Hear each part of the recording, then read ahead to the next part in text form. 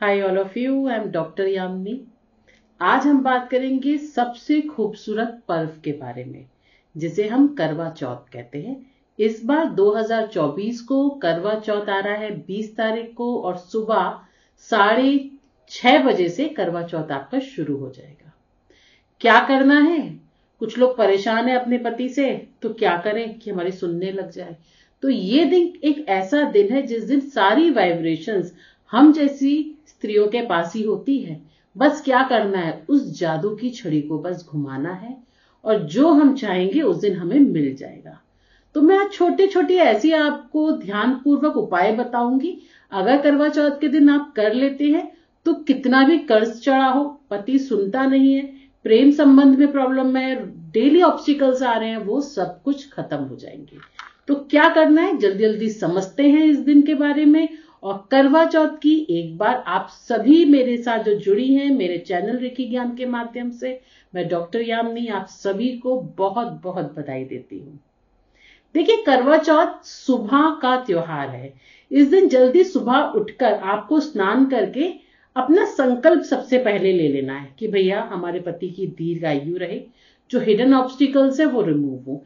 ये दिन तो हमें मिला है और इसी के लिए ही मिला है। तो छोटे छोटे हम उपाय करने से छोटे छोटे संकल्प लेने से ये त्योहार हमारा शुरू हो जाता है 20 तारीख की सुबह साढ़े छह बजे से। तो नहा धो लीजिए और सुहागिन महिलाएँ, सोलह श्रृंगार इस दिन करना ना भूले जो जो आपके श्रृंगार है। चांदी यानी बिछुओं का बदलने का यहाँ विशेष महत्व है। नए कपड़े पहनने का विशेष महत्व है। आप चाहे तो जी भर के जितना आपको श्रृंगार लेना है बिंदी लेनी है, जितना आपको लेना है, इस दिन आप खरीदिए, खुद भी पहनिए, दूसरों को भी, सुहागिन स्त्रियों को दीजिए, और जी भर के जो जो आपकी इच्छाएँ, सुहाग को लेकर आप इस दिन ज़रूर कीजिए। इस दिन विशेषकर लाल और पीले वस्त्र पहनने का महत्व है। जो लोग लाल पीले वस्त्र पहनते हैं, इस दिन ज़रूर पहने। आप या तो पीला या लाल रंग के वस्तु, साड़ी, लहंगा, जो सूट आप पहनना चाहते हैं, आप पहनिए, जो भी आपकी इच्छा है। अगर ये दोनों आप नहीं पहन पाते तो हरे का आप प्रयोग कर सकते हैं। ये तीन विशेष रंगों का इस दिन सबसे ज़्यादा महत्व है। अब बात करते हैं करवा चौथ के दिन चंद्रदेव की आराधना की जाती है। जब पूरे दिन महिला बिना खाए पिए संकल्प की प्राप्ति करती है। संकल्प बोलती है कि भाई मेरा पति स्वस्थ रहे। इस वक्त तो समझ लीजिए, स्वस्थ रहना सबसे बड़ी चीज़ है। दीर्घ आयु रहे, स्वस्थ रहे। और वो चंद्र पे जब जल चढ़ाती है अपने संकल्प के साथ में, तब ये पूरा हो जाता है। जो आप कलश है, जिसके अंदर आप रखते हैं अपने के लिए, जिसे हम करवा कहते हैं, कुछ लोग स्टील का रखते हैं, कुछ लोग मिट्टी का रखते हैं, उसमें आप हल्दी डालिए। यदि आपके पति को कुछ आपके हिडन ऑब्स्टिकल्स हैं उनके लिए, थोड़े से चावल डालिए, थोड़ा सा मीठा छोड़िए, कलावा बांधिए, उसका रोली चावल करिए और सतिया बनाना अपने करवे पे ना भूलें और अपना जो भी संकल्प है उसे आपको वहाँ दोहराना है कि भाई मैं ये चाहती हूँ, ऐसे चाहती हूँ। इस प्रकार संकल्प की आपको पूरी कर, पूर्ति करनी है और एंड में वो जल पूजा पाठ कथा सुनने के बाद आप चंद्र पे चढ़ाती हैं और अपनी मनोकामना चंद्र को देखने के बाद में व्रत तोड़ के पूरी कर देती हैं। करवा चौथ का दिन बड़ा पवित्र है। अब करवा चौथ के दिन पूरे दिन आपको जल ग्रहण नहीं करना है ये आपको हमेशा ध्यान रखना है, जल नहीं लेना, कुछ खाना पीना नहीं है पति की आप जब जल चंद्र पे चढ़ाने के बाद ही खाएँगी, पिएँगी, ये विशेष इस दिन का कहते हैं ना, बिना जल लिए इस दिन पूरे दिन स्त्री रहती है। और पहले आपका जो निवाला है, वो आपका पति आपको खिलाएगा, चाहे आपको मीठा खिलाए, चाहे आपको कुछ भी खिलाए वैसे तो मीठे से ही तोड़ा जाता है और जल पी के आगे आप अपने पति को खिलाइए, पिलाइए और फिर अपने संकल्प की आप जो भी आपने पैर छू के आप उनसे आशीर्वाद लीजिए। ये तो छोटा सा एक व्रत का एक रिचुअल हो गया। ये तो दिल से किया जाता है। आप जितना अच्छा कर सकती हैं, जितना मन से कि ये हमारे खुद का मन का व्रत है।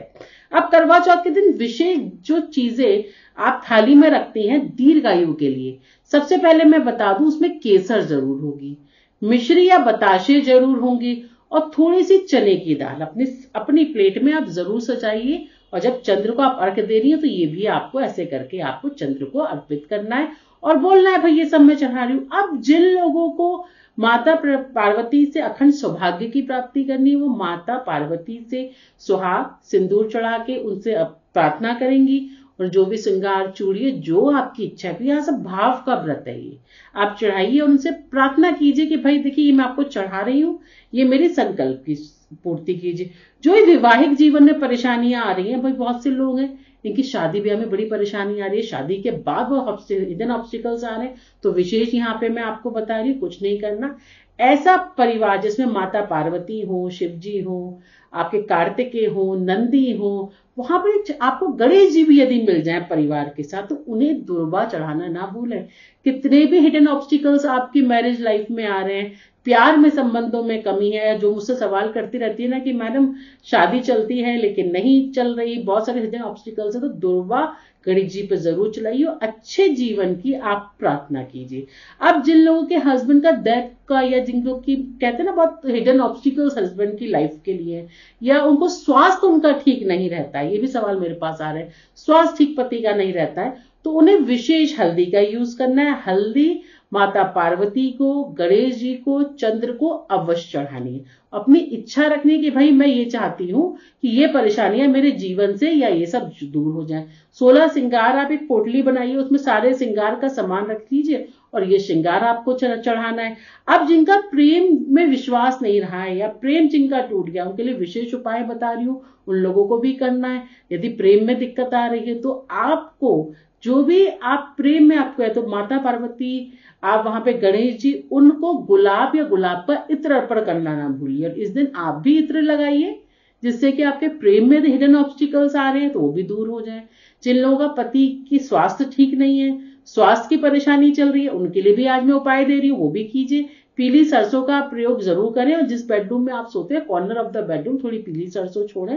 उस दिन पति की जितनी आप सेवा कर सकती हैं, सेवा कीजिए, जो आप इच्छा रखनी चाहती हैं उस दिन ज़रूर पहनिए। जिन लोगों को माता लक्ष्मी की प्राप्ति भी करनी है और फाइनेंशियल ग्रोथ में उनकी प्रॉब्लम आ रही है, अपने हस्बैंड वाइफ के बीच में फाइनेंशियल ऑब्स्टिकल्स फाइनेंशियल प्रॉब्लम जिसके कारण रिश्ता खराब हो रहा है तो इस दिन जो भी आपको वस्त्र पहनने हैं, वो रेशमी पहनने हैं।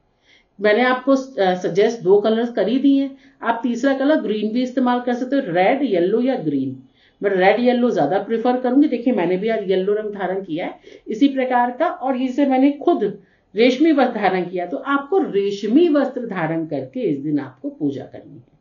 तो इन सभी बातों को इस दिन आपको ध्यान रखना है। साथ में जल्दी उठना है। संकल्प की पूर्ति ज़रूर करनी है कि भाई मैं ये ये संकल्प है, मैं ये चाहती हूँ, ये सारे ऑब्स्टिकल्स है कि ये त्योहार, ये दिन विशेष हमारे लिए है। हम जो चाहेंगे इस दिन मिलेगा। अब यहाँ मैं बात करूँगी आपकी खुद की हेल्थ की भी।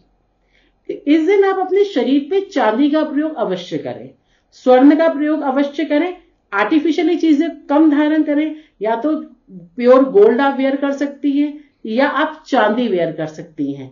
इस दिन मंगलसूत्र पहनने का अत्यधिक महत्व, यदि आपके पास छोटा सा मंगलसूत्र है तो आप विशेष कीजिए और उस मंगलसूत्र पे भी थोड़ा सा रोली, सिंदूर लगा के ही माथे पे धारण करके उसे आप धारण करें। उसका भी बड़ा विशेष महत्व है। जिन लोगों को मुझसे मुसक्सर सवाल करते ना मैम, नहीं है हमारे पास में मंगलसूत्र या किस तरीके से हमारा गोल्ड है तो मैं आपको कहूँगी, पीले धागा आप ले लीजिए, उसमें अपने पति के नाम की गांठ लगा लीजिए उसी को ही अपना मंगलसूत्र बाँध के उस पीले धागे को भी आप लोग धारण कर सकते हैं। उसमें पति के नाम की गांठ बांधिए, उसमें रोटी चलित चावन चढ़ाइए, उसका पूरा संकल्प कीजिए। आप अपने पति के हाथों से भी उसे धारण कर सकती हैं। तो ये धागा, ये आपके लिए मंगलसूत्र का काम करेगा। और जब भी आपको लाइफ में आपको मंगलसूत्र पहनना है, जब भी आपकी इच्छा है, आप इसी धागे को लाइफ लॉन्ग पहन सकती हैं। छोटे छोटे उपाय हमें बहुत आगे तक ले जाते हैं। और जो लोग मुझसे जुड़े हुए हैं, जो ये वीडियो देख रहे हैं, आप सभी को करवा चौथ की बहुत बहुत बधाई और मैं आशा करती हूँ, ये करवा चौथ बहुत ज़्यादा मंगलमय हो आप सभी के लिए। जब तक के लिए मुझसे जुड़े रहने के लिए धन्यवाद।